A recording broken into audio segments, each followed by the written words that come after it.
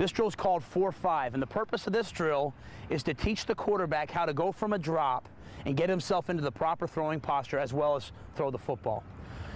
4-5 simulates the last two steps of any drop. So what we do in 4-5 is the quarterback stands the, with the proper pocket fundamentals as if he's dropping. He's going to cross over on his fourth step and land on his fifth step. Now he should land on the inside ball of that back foot. He doesn't want his heel to contact the ground. Sink his weight onto his back leg, push the ball back, and utilize all the throwing mechanics we've taught. So it should look as follows.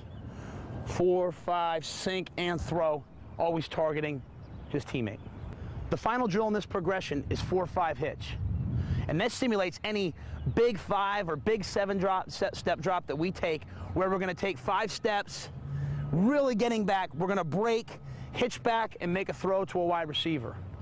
When we teach the hitch, what we teach is the quarterback has taken three big steps, and on his fourth step, he'll cross over, and on his fifth step, because he's taken such a fast drop, he's got to utilize that fifth step to break himself.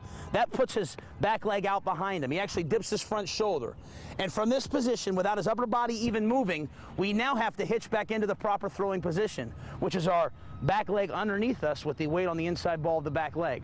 So the quarterback will go four, five, hitch, and be ready to throw the football. Okay. In teaching this, we like to use some rhythm. We'll tell the quarterbacks four, five, hitch, and throw. Four, five, hitch, and throw. Okay. In throwing, we want to push the ball back and utilize all the same mechanics we've discussed. But the important thing again is to keep the upper body still and now hitch back up underneath us.